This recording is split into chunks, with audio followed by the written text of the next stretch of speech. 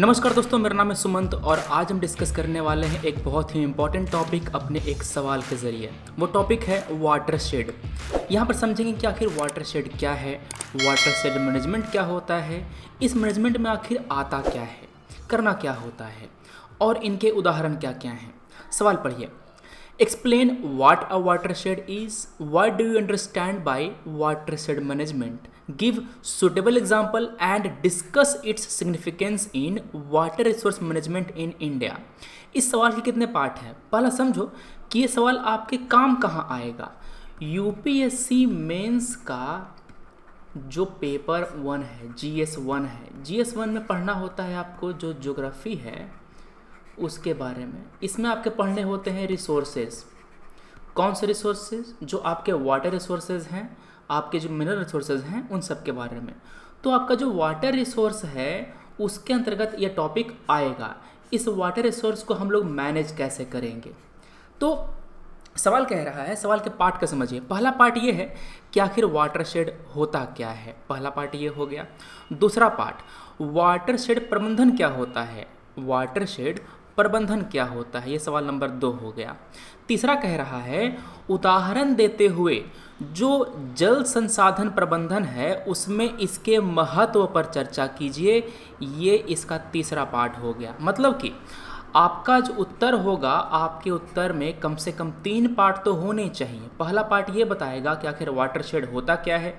दूसरा पार्ट ये बताएगा कि वाटर शेड मैनेजमेंट क्या होता है और तीसरा पार्ट ये बताएगा कि इसका महत्व क्या है। ठीक है? अगर आप कुछ एक्स्ट्रा मार्क्स फेच करना चाहते हैं, पाना चाहते हैं तो आप बताएँगे, ये महत्व है ना? महत्व में आप जो इनिशिएटिव है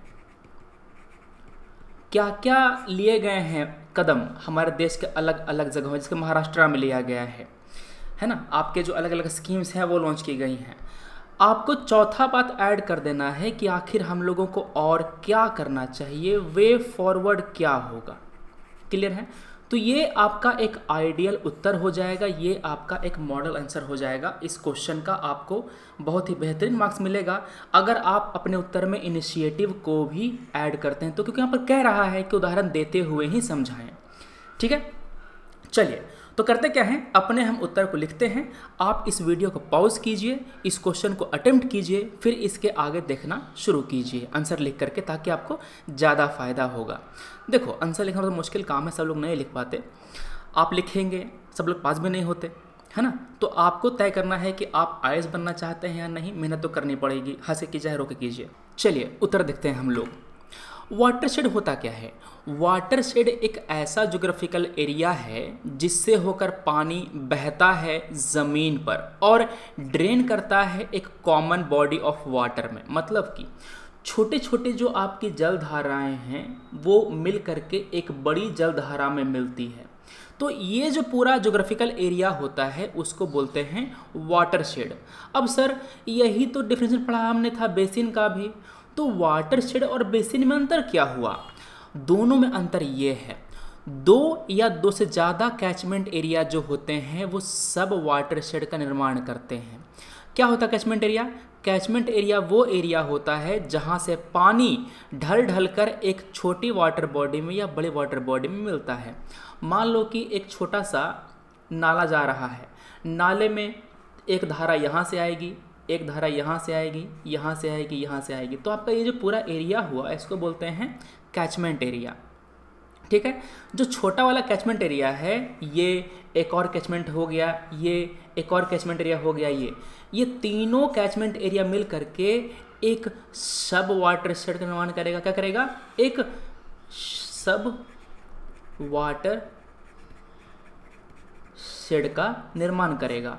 और ये अलग अलग वाटर शेड मिल करके एक बड़े वाटर शेड का निर्माण करेंगे। क्लियर है? अब ये जो वाटर शेड है ना, ये वाटर शेड मिल करके बेसिन का निर्माण करेगा। मतलब कि वाटर शेड से मिल करके बेसिन बनता है। बेसिन जो है ना, वो वाटर शेड का बड़ा पार्ट है। समझ गए अंतर दोनों में क्या होता है? तो ये हो गया काम आपके प्रिलिम्स का। जैसे कि जो धाराएँ हैं मिल मिल करके नदी बनाएँगी, जो आपका तालाब है, वहाँ पर जा करके गिरेंगी। समझ रहे बात? अब वाटर शेड बाउंड्री क्या होता है? इस वाटर शेड के किनारे किनारे जो एक ऊंचाई होती है, जो डिवाइड बनाता है, इस एरिया को बाकी एरिया से अलग करता है, उसको बोलते हैं watershed boundary for example देखो, ये वाला, ये जो आपको चढ़ाई दिख रही है ना, ये है आपका वाटर शेड डिवाइड यहाँ पर की जो नदियाँ होंगी, वो इसी एरिया में आएँगी, वो इस वाले वाटर डिवाइड में शामिल नहीं होगी. वैसे ही यहाँ पर वाला जो एरिया नदियाँ हैं, वो इसी एरिया में रहेंगी। मतलब कि आपका जो वाटर शेड है ना, वो अलग अलग हो गया। ये हो गया पहला वाटर शेड ये हो गया दूसरा वाटर शेड ये हो गया आपका तीसरा वाटर शेड समझ गए? तो जो बाउंड्री होता है, वो अलग अलग वाटर शेड को अलग करता है। It follows the highest ridge line around the stream channel समझ गए? यहाँ पर वाटर शेड क्या होता है? वाटर शेड डिवाइड क्या होता है? अगला हमारा टॉपिक है कि आखिर वाटर शेड मैनेजमेंट क्या होता है? वाटर शेड में जो रिसोर्सेज ध्यान सुनना वाटर शेड में जो रिसोर्सेज हैं क्या क्या होता है वहाँ पे? वहाँ पर आपका होता है, पहला तो वाटर ही होगा, है ना? वाटर होता है, वहाँ पर पेड़ लगे होते हैं, नदी के किनारे, मिट्टी होती है, ठीक है? तो इन सबको ढंग से मैनेज करना वो कहलाता है वाटर सेड का मैनेजमेंट। इसको मैनेज करना, उसको कंजर्व करना कि मिट्टी बह के न चली जाए, जो आपका पेड़ है, वो अगर काट देंगे तो मिट्टी ढीली हो जाएगी और फिर उससे वाटर, जो सॉइल रोजन है, बढ़ जाएगा। है ना? तो करता क्या है कि जो रन ऑफ़ है, उसको प्रिवेंट करता है। रन ऑफ़ क्या होता है? रन ऑफ़ का मतलब ये होता है कि पानी जब बरसात होती है ज़मीन पर तो ज़मीन पर ढलान होने के कारण वो नीचे की ओर गिरती है पानी, है ना? जब पानी नीचे की ओर गिरता है तो अपने साथ मिट्टी को घुलाता हुआ चलता है। तो उसको बोलते हैं रन ऑफ़ अगर हम लोग रन ऑफ़ को रोक देंगे तो मिट्टी जो घुल घुल के नीचे जा रहा है, वो रुक जाएगा, है ना? जो सॉयल इरोजन है, वो कम हो जाएगा। तो हम करते क्या हैं? रन ऑफ़ को हम लोग प्रिवेंट करते हैं और ग्राउंड वाटर को रिचार्ज करते हैं। क्यों सर ग्राउंड वाटर रहेगा तभी तो कुएँ में, तालाब में पानी रहेगा। तालाब होता क्या है? तालाब ये होता है, ये जो पानी का लेयर देख रहे हैं ना, ये एक्चुअली उस एरिया में वाटर का लेयर है।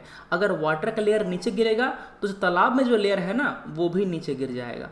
बट ब्रॉड सेंस में जो वाटर शेड कंजर्वेशन है, इसमें कंजर्वेशन भी आता है। रीजन्स मतलब कि उसको धीरे धीरे फिर से उगाना भी आता है और उसका सही इस्तेमाल तीनों आता है। मतलब कि नेचुरल रिसोर्स और ह्यूमन रिसोर्स दोनों का सही से इस्तेमाल करना, ये सब आपके वाटर शेड मैनेजमेंट में आता है। सर थोड़ा सा एग्ज़ाम्पल दीजिए ना। लीजिए सर, यहाँ पर आपको हम देते हैं एग्ज़ाम्पल के ज़रिए समझाते हैं। जैसे कि आप जो एग्रो फॉरेस्ट्री है, उसको प्रमोट करेंगे सॉइल कंजर्व करेंगे, जो प्लांट वहाँ पर है, लगाएँगे ताकि आपको जो फ्यूल है फॉर्डर है फाइबर नीड्स है, वो सब पूरा हो सके। जो स्लोप है ना, उसको स्टेबलाइज करेंगे ताकि वहाँ पर जो लैंडस्लाइड है, वो ना हो जाए। क्लियर है? जो टेरेस है, वो बनाएँगे वहाँ पर आप। फिर ऐसे ही, जो आपके वाटर हार्वेस्ट सिस्टम है, वो वहाँ बनाएँगे ताकि आपका ग्राउंड वाटर रिचार्ज हो जाए। तो हम देखेंगे, तुरंत इस स्लाइड पर दोबारा आएँगे हम लोग, देखेंगे कि आखिर किस तरह से हम लोग वाटर शेड का इस्तेमाल कर सकते हैं सस्टेनेबल डेवलपमेंट के लिए। यहाँ पर पूछ नहीं रहा है इस क्वेश्चन में वैसा, इस क्वेश्चन में कहाँ पूछ रहा है? मगर अगर सवाल ऐसा पूछ दे कि वाटर शेड मैनेजमेंट का क्या इस्तेमाल हो सकता है आपके सस्टेनेबल डेवलपमेंट गोल्स को हासिल करने में। समझ बात? ऐसा क्वेश्चन आ तो सकता ही है। आराम से आ सकता है ऐसा क्वेश्चन तो अगर ऐसा क्वेश्चन आए तो हमको वो वाला आंसर लिखना पड़ेगा जो भी देखा था हमने, वहाँ पर तुरंत अभी आएँगे। पहले पढ़ लो ये वाला। हमने देख लिया वाटर शेड क्या होता है, हमने देख लिया कि उसका मैनेजमेंट क्या होता है। अब देखते हैं कि इसका महत्व क्या है सिग्निफिकेंस क्या है।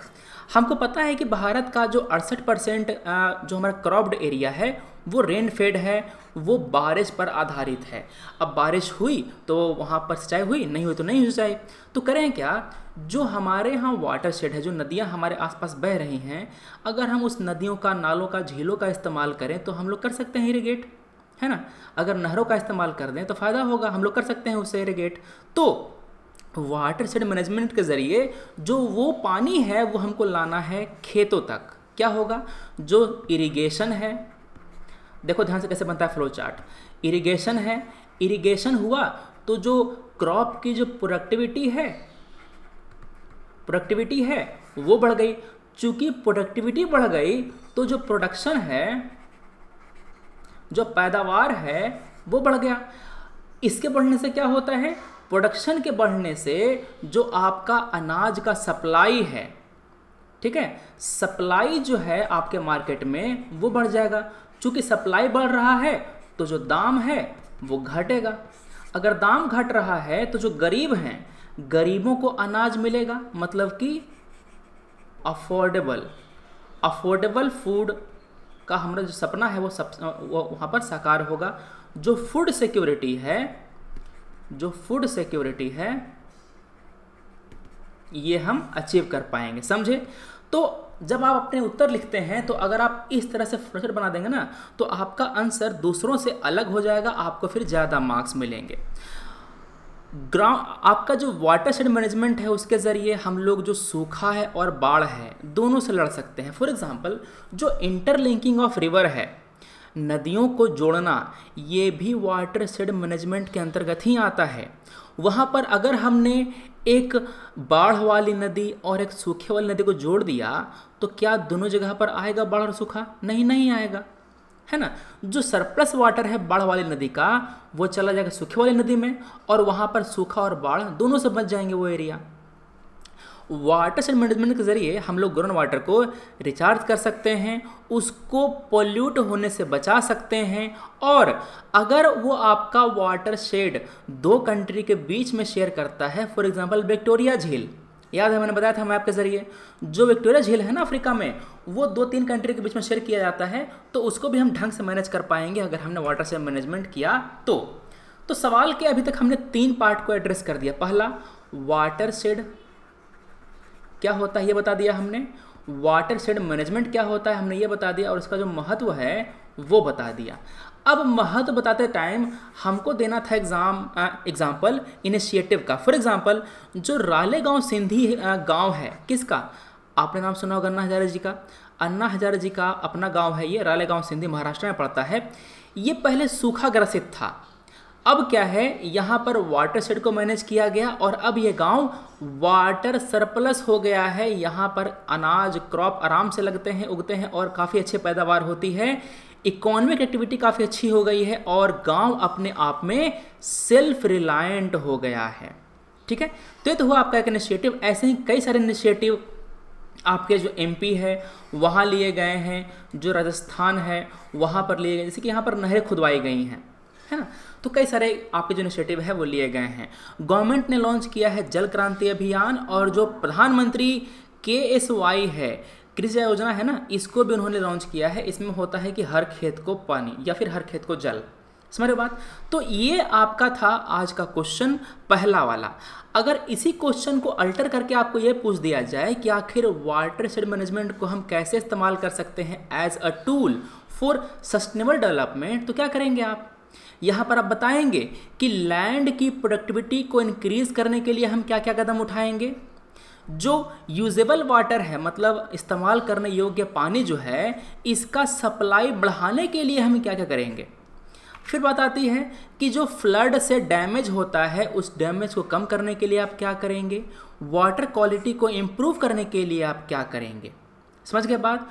तो इस तरह से आप अलग अलग हेडिंग के ज़रिए जो क्वेश्चंस हैं उसको आप डिस्कस कर सकते हैं। तो इतनी बातें हमारा आज की। वीडियो अगर अच्छा लगा हो तो लाइक कीजिए सब्सक्राइब कीजिएगा। हम लोग मिलते हैं अपने अगले वीडियो में। Thanks for watching take care जय हिंद।